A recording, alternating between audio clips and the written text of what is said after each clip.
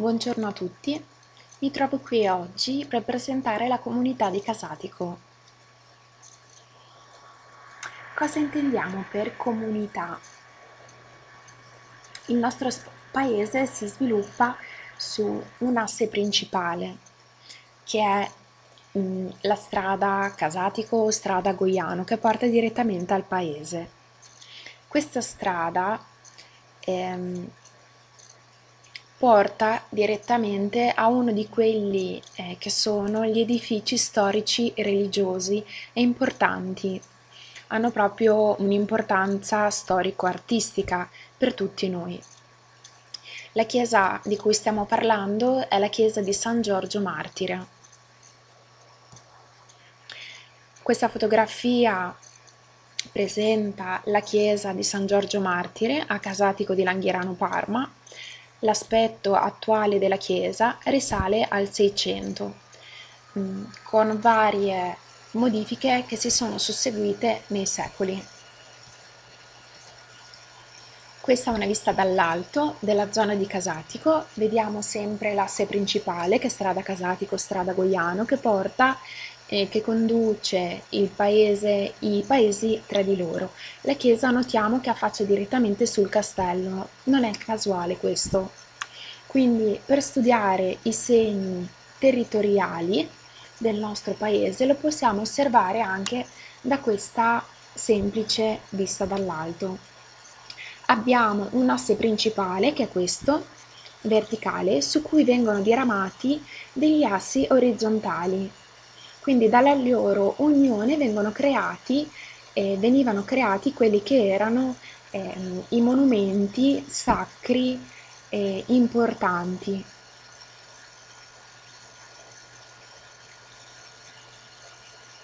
Per studiare eh, l'aspetto ehm, territoriale, i segni quelli che sono ad oggi del nostro paese, possiamo osservare la città di Parma. Questa pianta è una città eh, di Azzi incisa nel 1847 e dedicata al conte Cantelli. Questa incisione eh, mostra i, come si possono leggere i due assi principali. Quindi la città sorge su un cardo maggiore e un decumano massimo che sono una linea orizzontale e l'altra verticale. Alla loro unione veniva creata quella che erano o i monumenti che avevano un'importanza storico, politico e religioso, oppure delle piazze. Questi luoghi sono molto importanti per la città. Era mh, importante per le relazioni, all'interno delle piazze si poteva poteva avvenire il commercio, eh, le relazioni, ehm, erano, non sono eh, punti casuali predisposti nella città di Parma. Quindi mh, mm, questo sviluppo della città eh, di Parma lo possiamo benissimo anche confrontare col nostro paese di Casatico. La chiesa quindi di San Giorgio Martire presenta degli assi principali che sono strada casatico, quindi un asse verticale, la cui unione ehm, la cui mh, vengono intersecati degli assi orizzontali e la loro unione vengono proprio, eh, venivano create, localizzate ehm, questi monumenti. Eh, ad esempio proprio un monumento religioso importantissimo quale la chiesa di San Giorgio Martire è proprio predisposta in questo punto specifico non è casuale. Come si presenta allora la Chiesa? Eh, la Chiesa vediamo che il primo corpo, il corpo A, è la Chiesa di San Giorgio Martire, abbiamo una struttura accanto che è la canonica, un'abitazione del parroco annessa alla chiesa. Ehm, durante una scossa sismica ehm, è stato demolito quello che era il grande salone, lo vediamo comunque da una vista dall'alto oppure anche da questa immagine qui in alto. E mm, questa muratura proprio era la pianta di quello che era un tempo eh, la struttura adiacente alla chiesa di San Giorgio Martire. Poi abbiamo una, un corpo che è stato aggiunto negli anni successivi, lo si può anche vedere dai materiali, una differenziazione di materiali, e abbiamo un corpo D che è la torre campanaria. Quindi questi edifici tra di loro creano una comunità, quella che è per il nostro paese, ma non soltanto gli edifici eh, strutturali, i corpi strutturali indicano i segni della comunità, molto spesso anche i segni territoriali, quelli che sono già i segni dei campi, l'orditura dei campi, indicano proprio delle caratteristiche e dei segni simbolici anche spirituali. Ad esempio, accanto a quella che era la canonica c'era proprio tutto uno spazio di aria verde per la comunità, per, fare, per condividere qualcosa tra le persone, per esporre qualcosa, per fare delle feste del paese. E um, un grande elemento importantissimo è lo stradello non a caso è sull'asse comunque eh, trasversale del, dell'orditura principale eh, della strada di Casatico che conduce direttamente alla chiesa. Quindi non sono casuali i segni che noi oggi vediamo nel territorio preesistente. Eh, l'immagine che notate eh, qui in basso sulla sinistra è l'ufficio parrocchiale che si trova in, in questa porticciola e volevo mostrarvi un esempio pratico per la valutazione storico-artistica dei luoghi e dei simboli religiosi significativi della città di Parma per comparare quello che era un grande esempio del nostro patrimonio storico religioso e artistico della città di Parma con San Giorgio Martire in Casatico. Qui parliamo di San Francesco al Prato, la ricerca ehm, è stata svolta con Eleonora, una cara amica, è durata due anni, ci siamo occupate sia dell'aspetto del rilievo della chiesa che dell'aspetto bibliografico, storico e della, do- della documentazione, per prima di tutto comprendere eh, di cosa stavamo parlando, di cosa avevamo di fronte a noi, perché molto spesso magari ciò che noi vediamo um, ha un'importanza, è un segno che è stato fatto nella storia. Quindi San Francesco al Prato a Parma, la data di progetto non è conosciuta, la prima posa non conosciuta, nel 1380 eh, ci fu l'inizio dei lavori da padre Flaminio da Parma in memorie, memorie manoscritte. Successivamente nel 1398 la chiesa non era ancora stata compiuta, lo si nota in Pellicelli Nestore, in un documento del 1926. Nel 1461 viene terminata la facciata con la realizzazione del rosone, opera da Alberto da Verona, lo possiamo notare in questa fotografia qua, della facciata. La facciata, faccia, la facciata faccia, si affaccia su una piazza di condivisione per, me, per permettere proprio che sia l'aspetto strutturale, l'edificio, quanto quello che noi possiamo calpestare, quale può essere una pavimentazione, si possano unire tra di loro per permettere una maggiore eh, fruibilità anche degli edifici e una maggiore connessione tra di loro, sia tra mh, corpi che magari possono essere localizzati al di fuori del centro storico che tra di essi. Nel 1521 l'ampliamento della cappella, ci fu questo ampliamento della cappella dell'Immacolata Concezione, che lo vediamo in questa immagine a destra, e um, il committente è l'ordine francescano. E in queste slide abbiamo una carrellata della cronologia tratta dalle fonti scritte,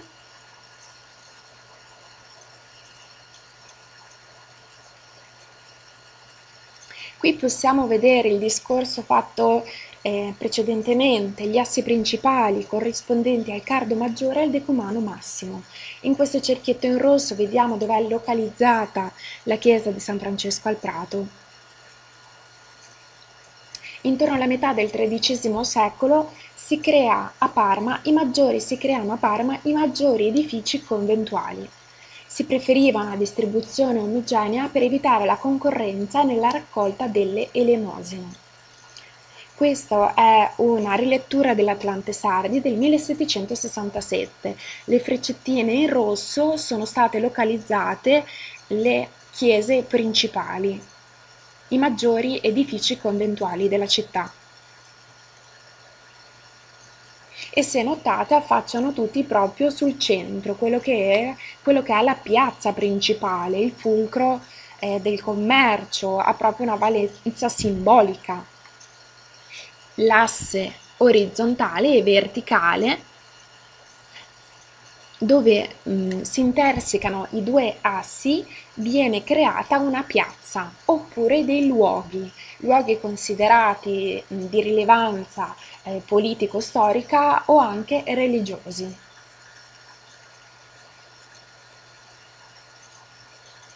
Carlo Manno nel 1877 dona al vescovo di Parma, Guido Bono, la Curtis Regia, che è questa piccolina qui. Correlativo Prato Pratum Regium, sul quale sorgerà la chiesa di San Francesco al Prato, quella che vedete in neretto. La Curtis Regia era al centro del potere civile e politico longobardo. Era collocata a est del Cardo, nella zona settentrionale della città. Vediamo una vista, un inquadramento del complesso monastico francescano all'interno del, della città,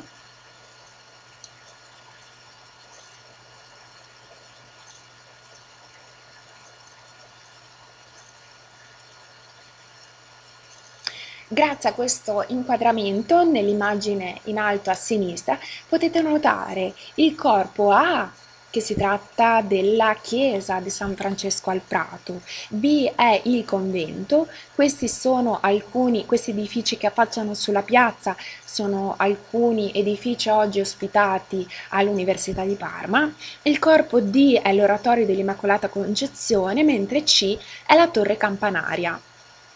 Vediamo appunto il discorso che stavamo facendo prima sugli assi, molto importanti perché erano proprio gli assi su cui si sviluppava, sviluppava tutta la città. Prima di studiare i corpi strutturali si studiava proprio tutto l'inquadramento a livello urbano della città e proprio i segni che noi oggi vediamo raccontano la nostra storia. E quindi un asse verticale, orizzontale è questo, e questo è uh, uno stradello direttamente che porta al centro um, della città di Parma. Poi abbiamo un altro asse orizzontale e all'intersecazione vedete che c'è una piazza. Um, queste in bianco raffiguravano quelle che erano una volta i, um, le mura del carcere, che era proprio stato creato un muro divisorio e vediamo mm, qui tutto il complesso artistico religioso. Questa immagine è una eh, visione aerea di tutto il complesso francescano, mh, mm, quello che ancora era adibito a carcere,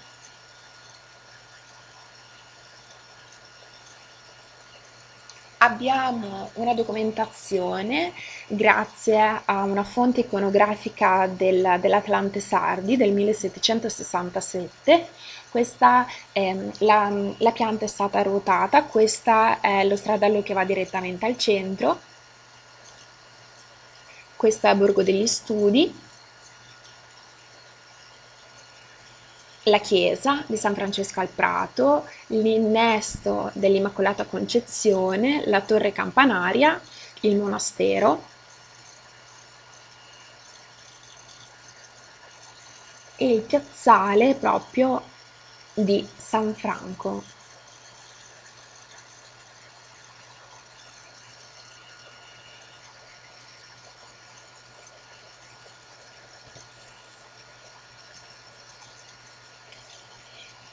Queste sono alcune immagini dove mostrano sia l'esterno che eh, l'interno, eh, gli elementi riconducibili allo stile gotico e allo stile romanico mediante delle foto sia dell'esterno che dell'interno.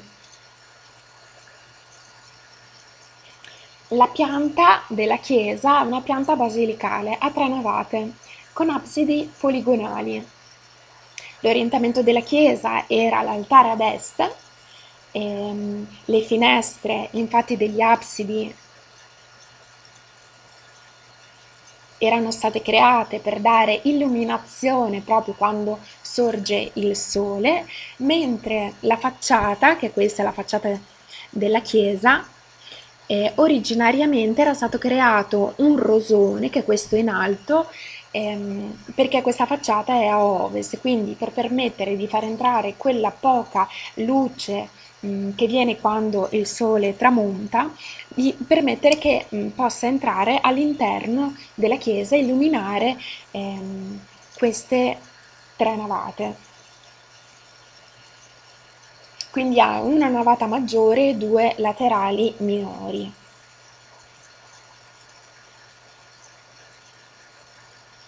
Questa è un'immagine all'interno della chiesa, la facciata che noi possiamo notare è la facciata ovest, ehm, le aperture che sono state fatte in aggiunta negli anni successivi quando eh, la chiesa era adibita a carcere, vediamo proprio che ha snaturato, snaturato completamente la, la, struttura della chiesa, la facciata, quella che era eh, la facciata della chiesa.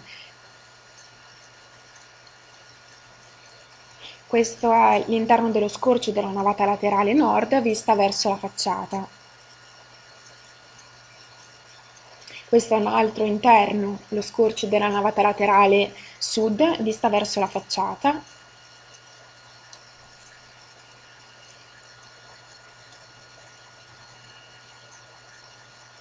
Si possono vedere delle, un tamponamento delle finestre delle cappelle laterali e abbiamo alcuni scorci che mostrano uh, l'esterno uh, della chiesa e dell'oratorio.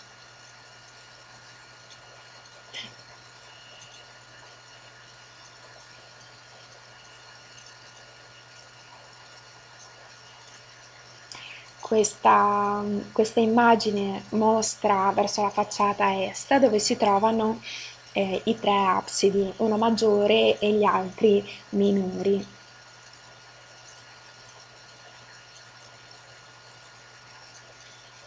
Queste sono altre immagini viste dall'interno perché durante gli scavi tra il 1996 e il 1999 si intravede mh,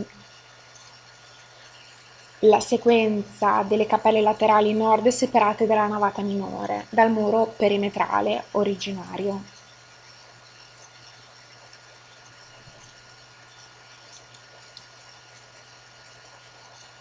La chiesa è divisa da due file di sole quattro robuste colonne per lato. Le colonne sono alte 8 metri circa e hanno un diametro di 1,60 m. Sono prive di entasi e mancano totalmente di abaco e pulvino. Sono interamente fatte di mattoni cotti e poggiano direttamente su base di forma quadrata.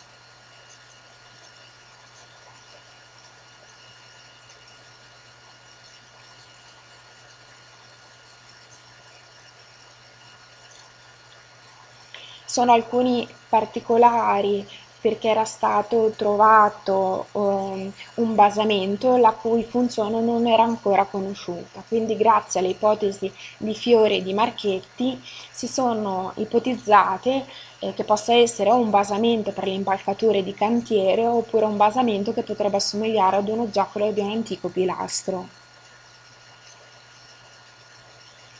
Dagli scavi effettuati dalla Catarsi durante il periodo del 1996-99 è emersa una fornace per laterizi di struttura rettangolare di circa 11 metri x 7,50 potete vedere proprio qui subito nella parte mm, in questa zona questa fornace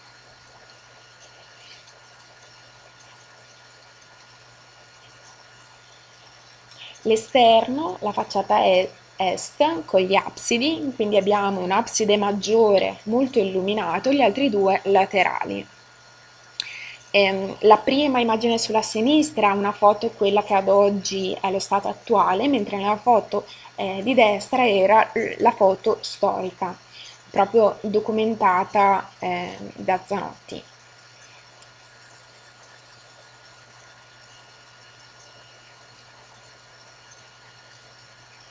Gli absidi sono poligonali. L'abside maggiore presenta una copertura a volta con delle nervature che la dividono in 10 vele, a differenza degli absidi minori che le dividono in 7 vele. Le nervature concludono in una chiave di volta con cornice tondeggiante entro la quale spicca il Dio Padre benedicante, benedicente ehm, l'abside maggiore ha una copertura volta con nervature, il dipinto del Cristo dove si trova il dipinto di Cristo Pantocratore, opera di Bartolino Grossi e Jacopo Loschi, nel circa del 1460-62. Notiamo proprio che ogni segno proprio rappresenta qualcosa, proprio un valore simbolico molto spirituale. L'interno, la sommità degli absidi laterali, questa è una vista degli absidi laterali sul lato nord. Le nervature si uniscono sempre in una chiave di volta con cornice tondeggiante, dentro la quale spicca l'agnello di Dio.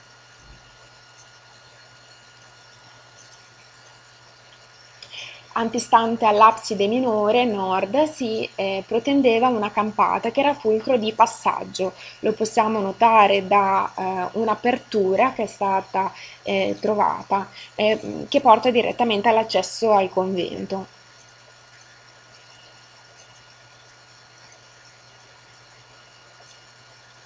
Di fianco, innanzi all'altare dell'abside maggiore, ehm, vi erano sono stati rinvenuti delle parti di pavimentazione proprio eh, differenti l'una dall'altra.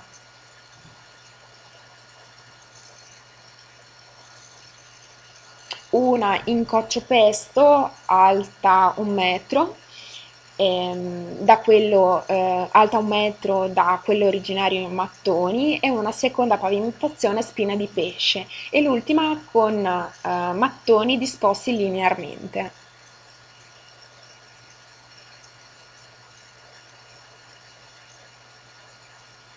Possiamo notare questa differenziazione di pavimentazione proprio nella foto in alto. L'interno abbiamo una vista dell'abside sud-est con la pavimentazione, proprio lo si nota dalla differenziazione di pavimentazione, quindi quote diverse e proprio pavimentazione differente. Abbiamo una pavimentazione eh, a spina di pesce da un lato, mentre dall'altra abbiamo eh, una pavimentazione con mattoni disposti in modo linearmente lineare.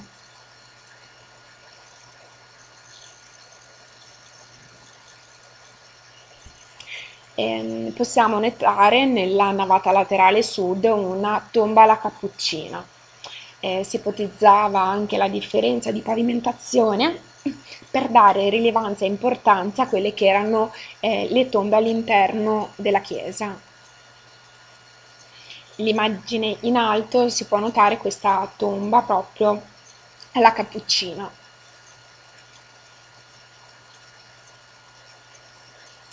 E queste sono immagini dei particolari del, um, degli absidi nel lato est. I cornicioni di gronda dell'abside maggiore sono formati da archetti a tutto sesto intrecciati eh, provenienti da uno stile romanico e dei denti di sega arrotondati. I cornicioni delle absidi minori invece sono formati da archetti a sesto acuto, uno stile gotico, lievemente trilobati, sormontati dallo stesso motivo decorativo nella meridionale.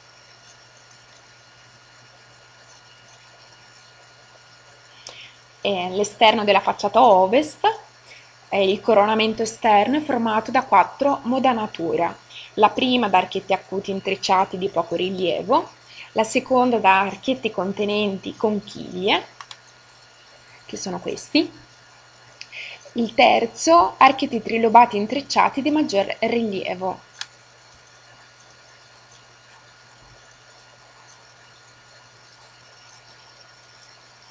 il coronamento esterno, questo è il lato sud,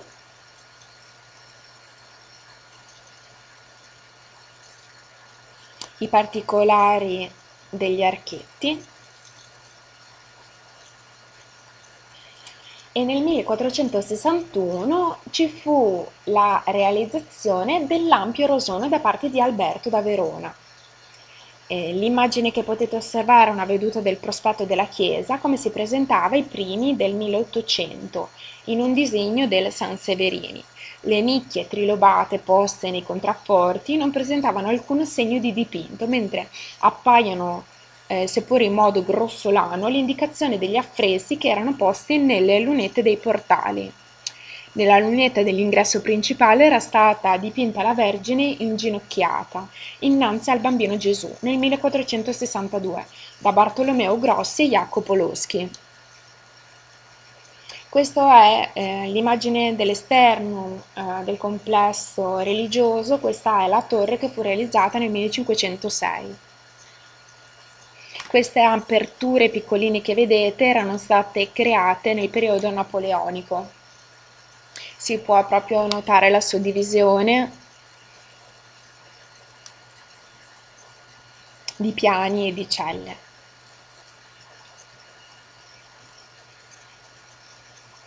Questa è una veduta generale dell'interno della chiesa Eh, questo è l'oratorio dell'Immacolata Concezione. Questo è l'ingresso, si accede da questa porta e si entra all'interno dell'oratorio. Qui è la torre campanaria e questo corpo che si vede in sfondo è la chiesa di San Francesco al Prato.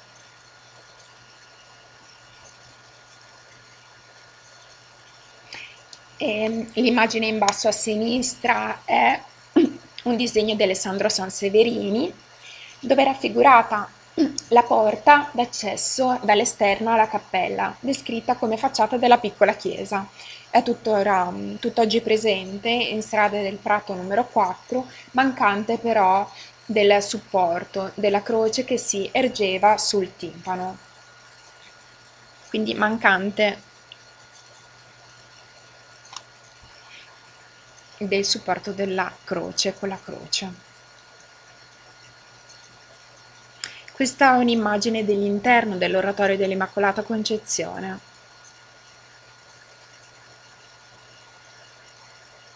Il 30 giugno del 1769 ci fu il reale editto di soppressione degli ordini religiosi, voluto da Dutilot. Il complesso conventuale di San Francesco al Prato viene soppresso il 1 settembre 1804 ci furono i lavori da farsi ai conventi per trasformarli in alloggi delle truppe. Giuseppe Cocconcelli, ingegnere e architetto, compirono una distinta di lavori da farsi. Il 9 giugno del 1805 ci fu l'editto napoleonico. Il 30 giugno del 1809 il progetto Giuseppe Cocconcelli. Questa è una veduta di un acquerello di Giacopo, Giacomo Giacopelli del 1850 circa, dove mostra la facciata della chiesa. Ad esempio notiamo sono privi di portali, sono state aggiunte aperture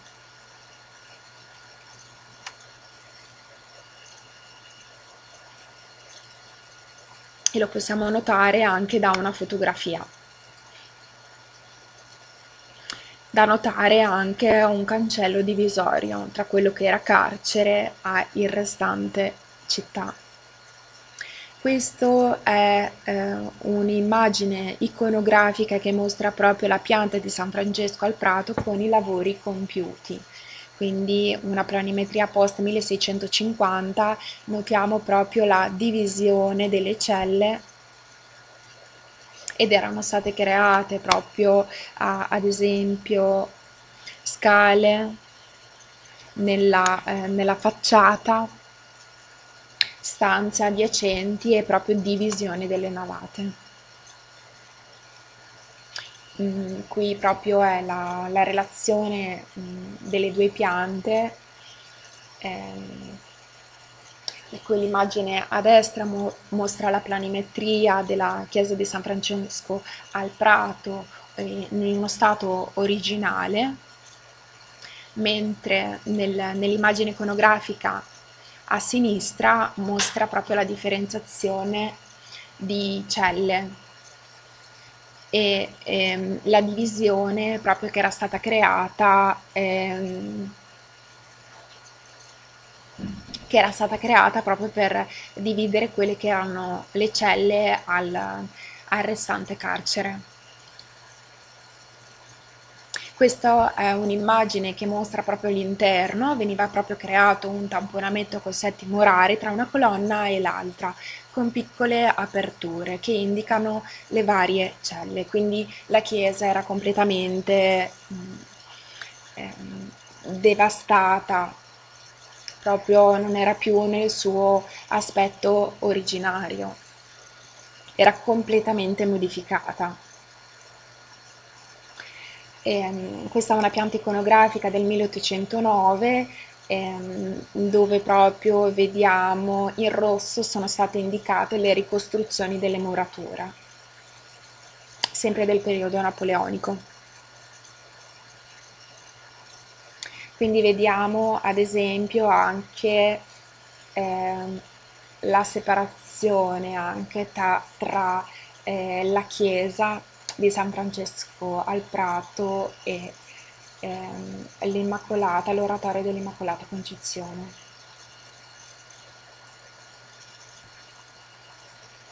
Questa è un'immagine molto significativa eh, dell'esterno della chiesa di San Francesco al Prato, quindi vediamo che era completamente sradicata da quello che era eh, la sua funzione originaria eh, è un grande patrimonio artistico storico culturale della nostra città. Notiamo proprio un muro divisorio tra la chiesa, quello che era adibito a carcere, e città. Quindi eh, possiamo comparare eh, la chiesa di San Francesco al Prato come eh, grande, nostro grande patrimonio storico, artistico, culturale con la chiesa di Casatico di San Giorgio Martire quelli che noi oggi magari possono essere segni invisibili del territorio hanno molto da comunicare con noi perché indicano quello che erano eh, i segni dei nostri antenati, la nostra storia. Eh, questa, questa, zona eh, è suddivisa da un corpo che la chiesa di San Giorgio Martire, aveva un suo spazio eh, parrocchiale e successivamente negli anni è stato creato un corpo in aggiunta. È dedicato alla comunità, eh, anche lo spazio adiacente era uno spazio proprio creato per anche mh, come rispetto eh, in, in varie zone di cimitero, di chiesa, anche lo spazio che hanno adiacente è uno spazio di rispetto proprio per um, per i nostri monumenti sacri.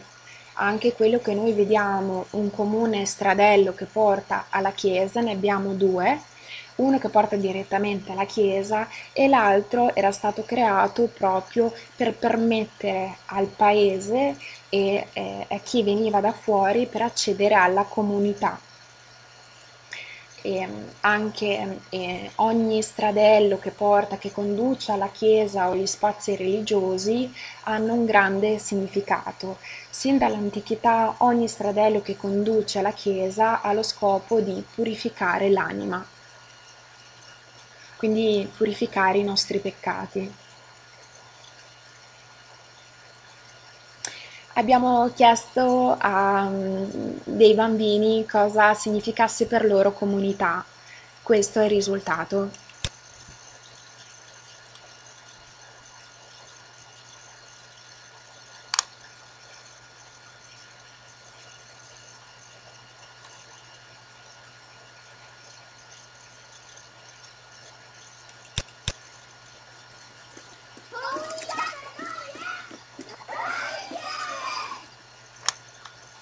Ecco, cos'è comunità per loro? Comunità è stare insieme.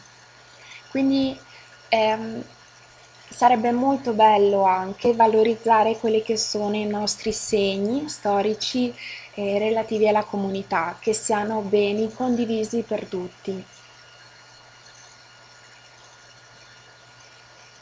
Quindi i simboli della spiritualità ehm, sono la planimetria della chiesa di San Giorgio Martire, la torre campanaria, la canonica, l'abitazione del parroco annessa alla chiesa, uno spazio di aria verde che è condivisa da giovani, feste del paese e spazi di luogo comune e i passaggi, quelli che sono passaggi carrabili pedonali che conducono direttamente sia alla chiesa che allo spazio di condivisione e della canonica.